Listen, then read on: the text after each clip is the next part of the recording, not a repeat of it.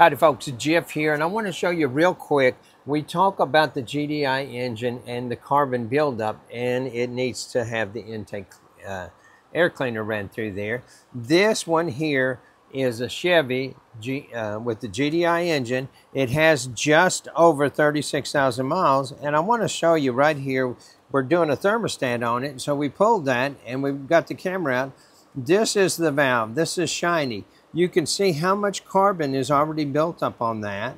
Let's go over here on this side. You can see all of the wet looking juicy stuff. That's uh, the oil that hasn't carboned up yet.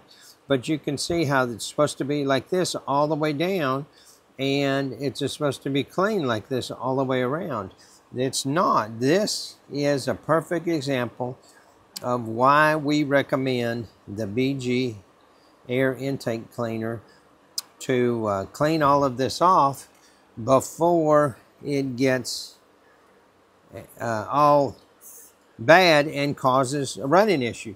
The OEs are actually recommending this at 30, 60, and 90,000 miles. Look at all of that. This is unbelievable for only having 36,000 miles. And this customer is regular on oil changes. I hope that helps you out. As always, I appreciate you watching.